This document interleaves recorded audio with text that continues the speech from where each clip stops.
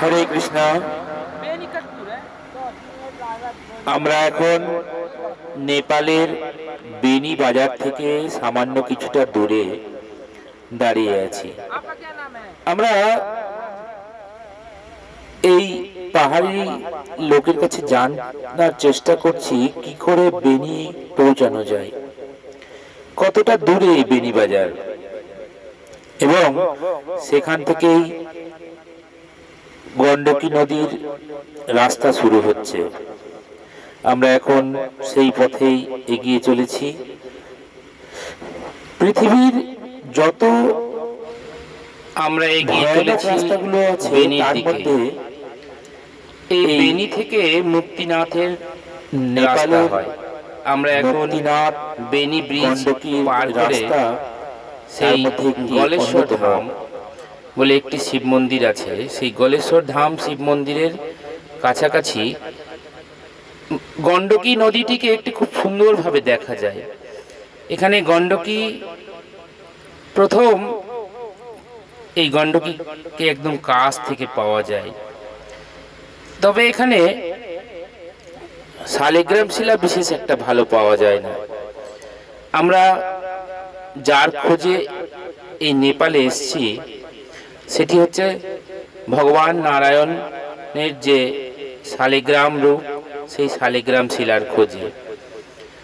এই গণ্ডকী নদী হচ্ছে শালিগ্রামের জন্ম। এখানে এই শালিগ্রাম পাওয়া যায়, মনে হলো না। আমরা এখন সেই পথে দাঁড়িয়ে আছি এবং অপ্রকৃতির কি অদ্ভুত সুন্দর মনোরম দৃশ্য এবার আমরা সেখান থেকে এগিয়ে অদ্ভুত সুন্দর এই নেপাল। পিছনে বিশাল পর্বতরাজি, আর নিচে বয়ে চলেছে গণ্ডকী। তার শব্দ কি ভয়ানক। এই নদীর নাম কালী গণ্ডকী এখানে একে কালী বলা হয়। এখানকার স্থানীয় লোকরা একে কালী বলেই জানে। এত ভয়ানক এই শব্দ যে এই শব্দ কোনো কিছু শোনা যায় না। যেন মনে হয় প্রকৃতি এই নদীকে অদ্ভুত এক তরঙ্গ দান করেছে। এবং সে নিজের সেই অনন্ত ছন্দে সে ছুটে চলেছে। এবং কি ভয়ানক এর আওয়াজ। এবার আমরা যাব। আরও সামনে আপনারাও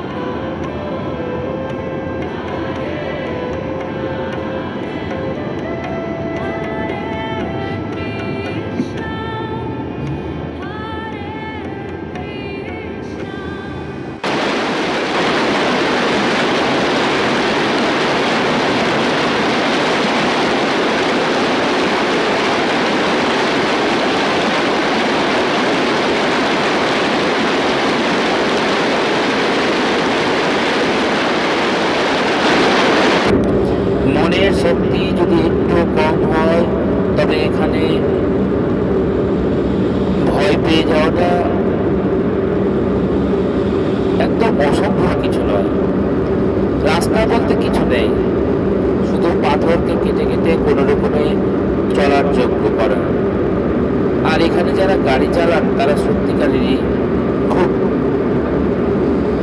মনোবল সম্পন্ন। যেমন তেমন শক্তি মনের মধ্যে যদি একটু কম হয়, তবে এই রাস্তায় গাড়ি চালানো সম্ভব নয়। রাস্তা বলা যায় না এটাকে পাশে কয়েক শো ফুট নিচে গণ্ডকী নদী গাড়ি চলবে গাড়ির এত আওয়াজ, তা সত্ত্বেও নদীর আওয়াজ কম হয় না। তার যে কি গর্জন? আর আরেক পাশে সুবিশাল সেই পর্বত। হিমালয়ের এমন অদ্ভুত রূপ আমরা এই প্রথম দেখছি। আগেও বহু পাহাড়ে গিয়েছি, কিন্তু এমনভাবে কোনোদিন দেখিনি। বেনি থেকে মুক্তিনাথের পথ মাত্র একশো দশ কিলোমিটার। কিন্তু সেই একশো দশ কিলোমিটার রাস্তা চলতে সময় লাগে প্রায় চব্বিশ ঘণ্টা।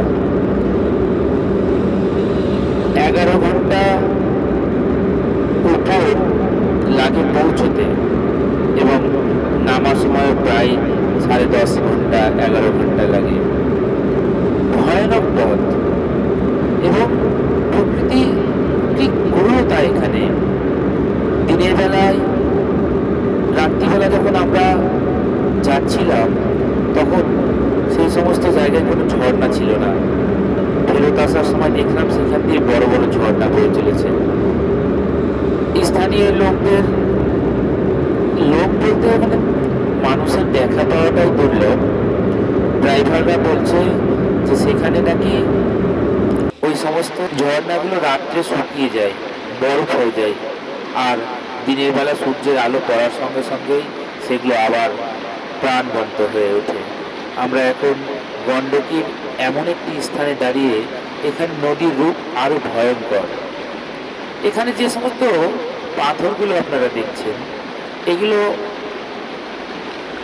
প্রত্যেকটা পাথরকে যদি কাছে থেকে দেখা যায়, দেখা যাবে যে প্রত্যেকটা এক একটা রূপ মানে সেই কোনোটা একটা দেখে মনে হয় যে গণেশের মতো, কোনোটা আর কোনো দেবী দেবতাদের রূপ, শিব রূপ, এরকম বহু রূপের পাথর এখানে পাওয়া যায়। সমস্ত দেবতারা যেন এখানে শিলা রূপে বিরাজ করছেন। আর করবেন নাই বা কেন? স্বয়ং নারায়ণ যেখানে শিলারূপে বিরাজ করছেন, সেখানে অন্যান্য দেবতারা তো শিলারূপে বিরাজ করবেনই। অদ্ভুত সুন্দর এই নদী আর এখানকার প্রাকৃতিক সৌন্দর্য।